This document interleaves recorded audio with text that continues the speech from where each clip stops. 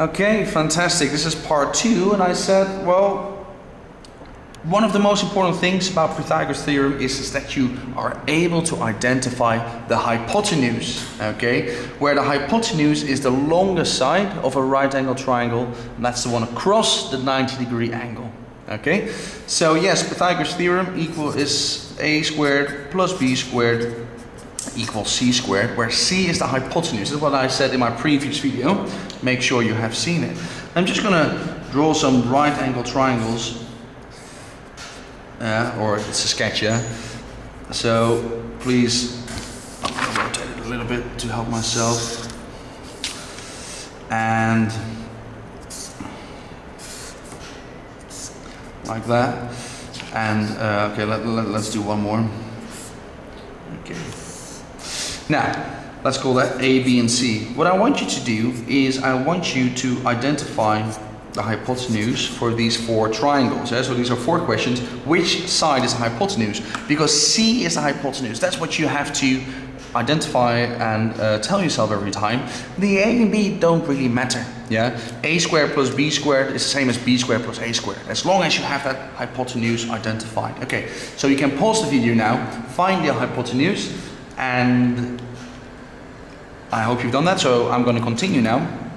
Uh, so I hope you have tried this yourself. So really always, when we're calculating lengths in right angle triangles and we use Pythagoras theorem, take a minute, well not a minute, but take some time to identify the hypotenuse. Where's my 90 degree angle? It's here. So that is my C. That is the hypotenuse. And this could be A and that B, or the other way around, as long as you identify the hypotenuse. This right angle triangle which side is the hypotenuse? Well, this is my 90 degree angle across it. So that's the hypotenuse. That is my C. We can call this A. We can call that B. Doesn't matter. Question C, 90 degree angle. Which side is opposite? That's that one. That makes it the hypotenuse. Let me write it down again. Hypotenuse, yeah? That's the longer side in the right angle triangle. That's that side across the 90 degree angle. Now, when you get this question, and they, you are asked to calculate the length, and in the near future you will be asked this question, but what is the hypotenuse?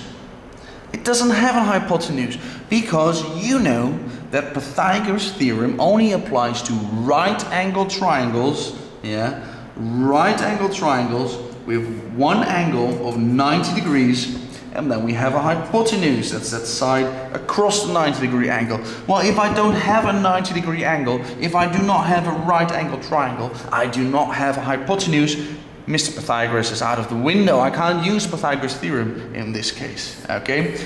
Always ask yourself that question. Is it a right angle triangle? Yeah. What is the hypotenuse? All right. Um, I'll see you at the next video where I'm going to prove a squared plus b squared equals c squared and make sure that after that video you have a look at my example question. All right, see you later.